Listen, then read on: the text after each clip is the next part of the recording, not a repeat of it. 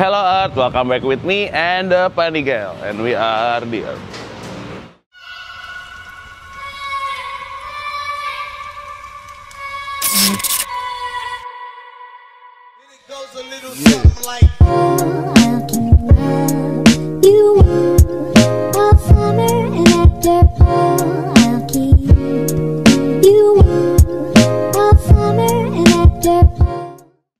Oke guys, jadi hari ini kita ada schedule foto-foto, bikin video eh, tadi sama Erwan.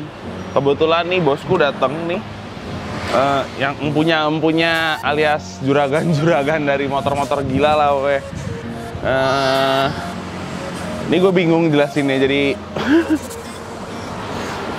gue tadi nanya dulu, pokoknya gue nanya-nanya dulu. Yang pasti ini Ducati Panigel 1199. Nah, ada sih tulisannya gue bego ya. Nah, terus ini 2016 udah dibikin tricolor. Tadinya full merah. Waktu itu pas lagi kita morning run ke, ke Waduk Dharma, nih ikutan nih. Motornya waktu itu baru banget nyampe, langsung dipakai morning run. Habis itu dibawa lagi langsung ke bengkel dan ini baru jadi nih habis test ride kemarin ya makanya rada kotor sih oke jadi mungkin gua bacain speknya dulu ya. Bacain spek. Ya udahlah lihat gitu ya. Oke pertama dari atas. Ini eh, untuk ininya masih asli ya. Terus remnya udah Brembo RCS kirinya udah Brembo juga kanan kiri udah Brembo. Terus udah ada steering dampernya Ohlins Terus ini kayaknya untuk suspensi ini udah elektron, udah ada kayak sensor-sensor gitu kali ya. Gue bego banget guys, silahkan hujat. Jadi yang penting gue kasih konten buat kalian gitu. Oke, terus untuk tempat master, eh, minyak remnya nih di master remnya itu dia udah pakai Rizoma kanan kiri karena ini dia double caliper Brembo nanti kita bahas di kaki-kaki ya. Kita bahas untuk cockpitnya dulu. Oke, terus ini udah full karbon semua. Ini di karbon sendiri nih kayak kelihatannya ya ini full karbon trimming-trimmingnya terus untuk kunci dia masih ada kunci biasa tapi kita lihat speedometer ya guys. Yoi, Ducati dulu nyala gitu terus gila nih keren banget. Lebih keren dari motek gitu kan deh. Gak usah ganti motek ya udah beginian. Oke terus untuk tutup tangki nih ini pakai light tag kemarin sempat susah dibuka yang trouble ini doang jadi ini diputer gitu guys. Diputer nah pindahin ke ninja gua sekarang. Ini keren banget sih. Terus begini ya kalau ninja biasanya taiga gitu ya. DKT taiga apaan lah. Ini light tag nggak ada buat ninja sih tapi ini keren banget. Kok nggak nutup ya dia ya? Bentar guys. Gua mulai agak serem nih sama motor-motor gini. Nah, sip, udah tutup, sip. Oke, terus untuk di tangki ada tank protector dari Ducati juga yang karbon. Terus ini bodi belakang dia belum di- nggak dibikin single seater. Jadi dia tetap bisa bonceng-bonceng. Mungkin punya eh, lagi cari cewek sih guys. Jadi ownernya lagi cari cewek. WA aja ke gua. Eh WA. Komennya di bawah kalau kalian para cewek-cewek yang mau diboncengin naik Ducati Tricolor Panigel langsung DM aja. Iya iya iya iya. apa sih? Oke, terus ini belakang juga udah dikarbon-karbonin. Ini lampu belakangnya mana ya? Oh ini lampu belakangnya. Ini lampu belakangnya begini nih. Ini kotor banget ya. Terus knalpot nanti kita bahas di bagian bawah. Ini juga kita bahas body dulu. Nah jadi ini body udah di full wrap. Jadi kayak tricolor. Kayak gini nih sampai bawah belakang. Tricolor itu sebenarnya kenapa tricolor? Karena emang tiga warna ya merah, putih sama hijau. Ini udah tricolor gitu. Jadi ini wrapnya juga udah disiapin dari awal beli motornya katanya. Oke, terus ke bagian depan. Bagian depannya ini spion dilepas, dia biar lebih rapi ya. Terus untuk visornya masih standar. Terus ini ada bar end-nya ini protektor gitu, nggak ada mereknya jadi gua nggak bisa tahu merek apa. Terus lampu depan ini keren banget guys. Ini lampu depannya keren banget. Ini dia udah full LED gitu lampu depannya. Lampu depan udah full LED. Jadi ini mantep banget terus dia ada air scoop gitu buat yang ke radiator, radiatornya di situ ya. Terus untuk spakbor ini udah karbon, ini dry karbon. Kelihatannya sih kalau yang ini asli Ducatinya ya, karena beda dengan karbon yang lain ya. Si serat-seratnya juga beda. Terus nih udah gokil deh pokoknya. Oke, sekarang kita ke kaki-kaki. Dari depan dulu nih. Shock depan ini udah pakai Ohlins. Emang bawaannya udah Ohlins ya. Terus remnya Brembo, dapetnya Brembo M50. Terus si piringannya udah yang floating dan peleknya udah OZ. Gokil sih. Ini perhedonan duniawi. Ngarahnya dari motor ini nih kelihatannya. Udah gokil sih. Terus shock belakang juga udah Ohlins ya. Ini dia tabungnya dua gitu. Gua ngerti buat apaan buat yang tahu komennya di bawah. Terus ini ada protektor si shocknya juga Ohlins gitu di kiri gini keren banget. Nanti mungkin gue pengen bikin motor custom shocknya di kiri gini deh. Kayak keren banget ya. Ditambah lagi ini udah ada cover si armnya ini juga karbon. Ini cover ya karbon gitu. Terus knalpotnya pakai Akrapovic suaranya gimana? Kita tes aja yuk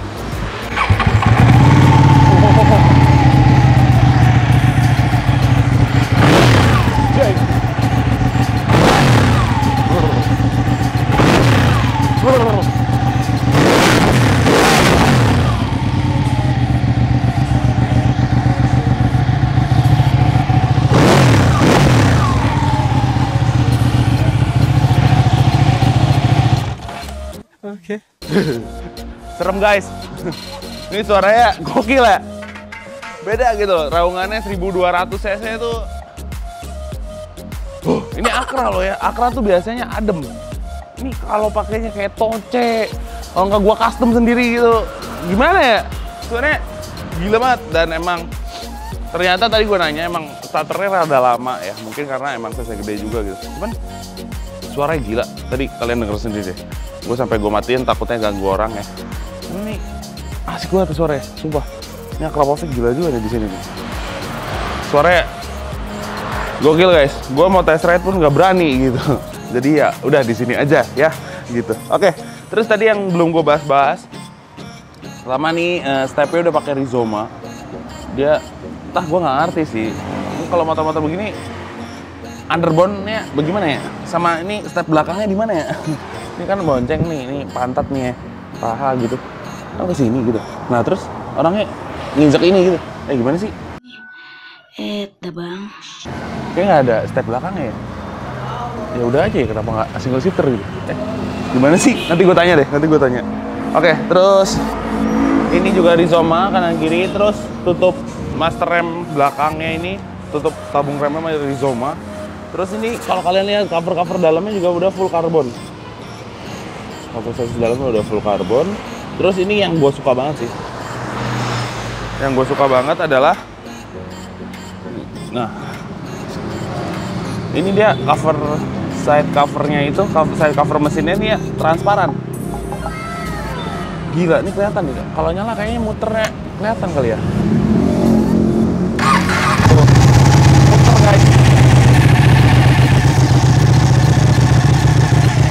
Gila, gila, oi gila. Oh my god! Putaran mesin aja kelihatan guys. Putaran mesin kelihatan, jadi lu ngasih tahu gitu dong, katanya kasih tahu ini mesinnya muter loh gitu.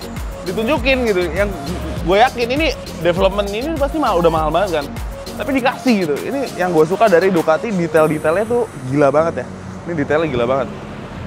Dan ya gue baru pertama kali lihat langsung juga si Ducati gitu, megang-megang gitu. Karena dulu temen gue pernah ada yang punya, cuman ya gue waktu itu belum se excited gitu sama lihat motor gitu. Cuman nih gara-gara Alvin ngomporin terus, gue jadi makin ngeliatin motor, nih makin gila-gila ya motor ini ya. Hehehe boy. Sadis gitu loh. Coba, jadi ini gue mau presentasikan gue sebagai orang yang nggak ngerti motor sama sekali, tapi lihat nih motor gokil sih. Detail-detailnya gila ya. Apalagi ini nih eh, untuk di belakang nih dia single arm ya. Dilihat di sini single arm. Single arm ini pakai OZ Racing juga dia belakang. Terus ini baut rodanya keren banget. Rem belakangnya juga dia udah di bawah gitu ya Brembo. Terus ini ban belakangnya pakai 200 per 55 untuk di arm standar gini ya. Jadi dia udah pakai 200 gitu. Jadi gila sih. Ini gila banget, lebar banget gitu. Mesin 1200 cc, bannya segini. Ini tarikannya kayak apa ya? Aduh, pengen coba sih, cuman takut mati gua. What? Oke, terus untuk kayak gini-gini nih, ya eh, mungkin emang udah kemakan panas ya, jadi rada-rada rusak nih catnya. Cuman yang rusak itu doang. Knalpotnya kanan kiri di bawah gitu keren banget. Jadi ini motor kayak nggak ada knalpotnya, knalpotnya ngumpet di bawah gini. Pokoknya sempurna ini motor, gila. Cuman emang suaranya itu dia lebih ke kasar ya. Si karakter suara Ducati itu kasar gitu, brak brak brak gitu kayak yang tinggi melengkingnya, wung wung gitu enggak sih. Tapi menjadi satu ciri khas ya. Apalagi ini 1200 cc gitu. Terus penyebutan, penyebutan cc-nya di motornya tuh keren banget 1199 gitu yang nggak bohongan ngomong kayak ini motor gue 1200 padahal cc-nya 1199 dia ngakuin gitu. Jadi gila lah, keren banget. Oke, pokoknya nanti yang kepo-kepo buat foto-fotonya langsung ada di Motoclens kalian kayak eh, langsung lihat aja. Terus sorry banget nih, mungkin gua terlihat sangat sotoy karena gua nggak tahu apa-apa dan ownernya tadi diajakin kagak mau malu katanya. Jadi terima kasih buat Mas Ibnu udah bawain motor ke sini. Nanti kita mau cuciin dulu, kita coating-coating. Terus udah kita foto-foto deh, foto-foto seriusnya nanti sore kali ya sama Erwan Alvin gitu. Jadi jangan lupa juga kita Earthin itu udah keluar langsung dicek aja. Jangan lupa juga subscribe dan komen biar kita lebih semangat bikin konten-konten kayak gini. Oke, jadi mungkin today topik begini dulu. Thank you for watching and be the best on earth. See you guys.